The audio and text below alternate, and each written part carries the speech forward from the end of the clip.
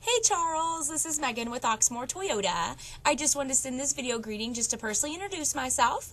I also like to see if you received the email I sent over with all the new Camrys that we have.